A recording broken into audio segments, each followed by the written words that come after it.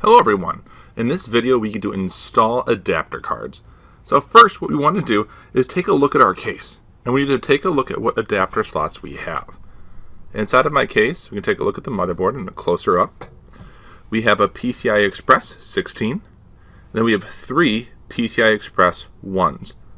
So what we want to do is be able to pick out adapter cards that are going to be compatible with these PCI Express slots. Also, if you're wondering what this is, this is a mini PCI Express. Think of wireless cards that you'd be able to install in a desktop tower. So let's get started. Step 1. We're going to need to find an empty slot, which we have, right here. So what we need to do is take off the corresponding cover that covers that slot. To remove this cover, which is covering the slot, I have to lift up my tower and we'll take a look at what I need to do on the outside. This screw here is holding on to those adapter card slot covers. It keeps them in place.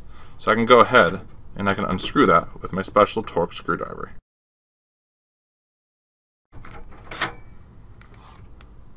With that screw out, we can actually take this cover.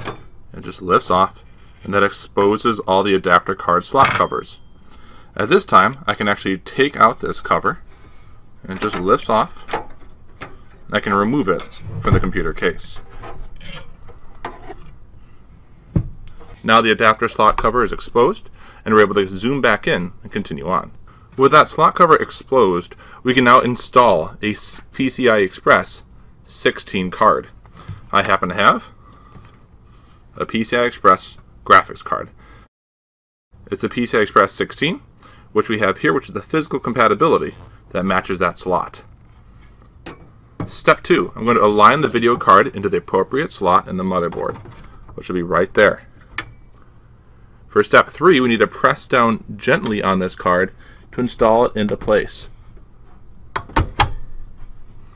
Step 4, we need to reinstall that slot cover.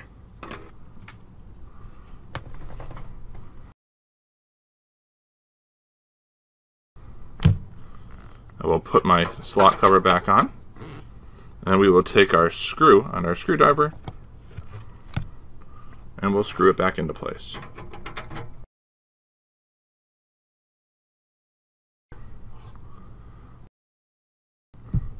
Thank you for watching. Our adapter card is now installed.